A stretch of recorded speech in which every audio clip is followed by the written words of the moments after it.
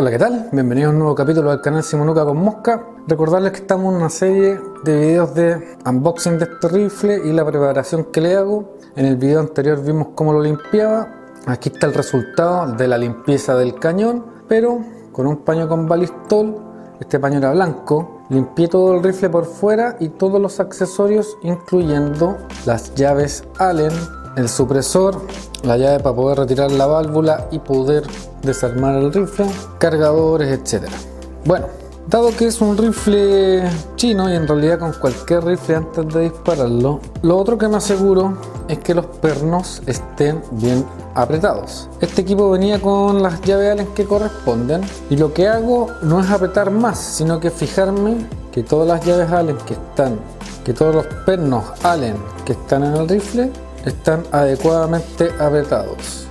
Normalmente lo hago con esta parte corta porque así me da menos torque y eso me permite evitar sobreapretar los pernos porque si lo hago así a mayor largo de la palanca más fuerza se ejerce por la misma presión pero uno siente la misma presión en el dedo pero es más fuerza la que se ejerce y uno puede sobreapretar un perno y eso tampoco uno lo quiere realizar lo que único que me estoy preocupando es que no haya ningún perno suelto. Lo otro es que los primeros 100 disparos de bostones también verifico que no se estén soltando. Eso es importante porque si algo se suelta, especialmente el rifle de la culata, entonces nosotros perdemos puntería o, dicho de otra manera, nuestros postones van a terminar en cualquier lado menos en el lugar que queremos que lleguen, que es el blanco.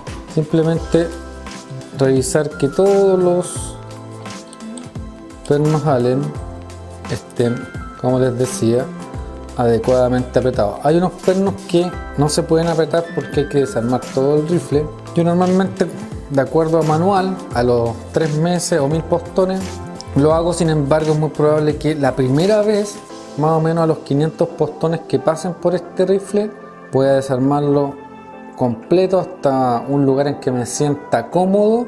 Y voy a repetir el proceso de limpieza, apretado, lubricación de los O-rings, etc.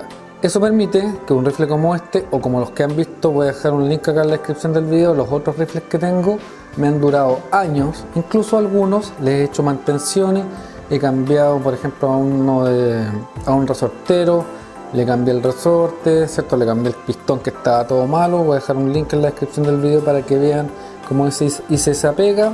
Y aquí hay otra Allen que no es ninguna de estas dos. Bueno, por ahí tengo un juego de llave Allen, lo voy a revisar. Ninguna de estas dos le hace. Estoy buscando en qué otra parte más tienen pernos. Y la única parte que me va faltando es aquí donde se fija el cañón al tubo. Mientras lo hago, comentarles que otras de las ventajas de utilizar Balistol es que queda una película protectora al rifle. Queda, entre comillas, se siente un poco aceitoso al principio, pero esa capa o película, este tampoco le hace ni esta más chica ni la más grande. La más chica es muy chica y la siguiente que pusieron en el kit es muy grande.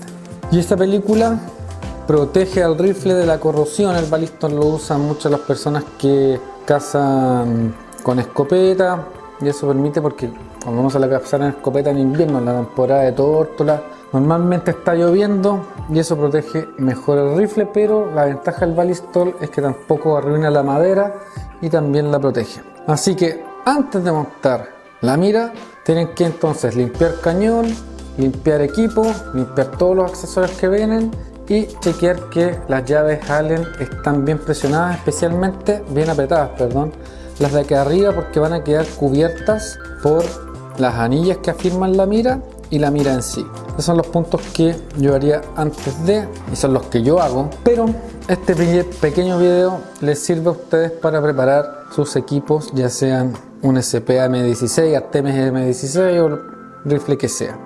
Eso era amigos, espero que este video les haya gustado, si les gustó denle like, compártelo con sus amigos, no olviden de suscribirse al canal y como siempre nos veremos en una próxima oportunidad.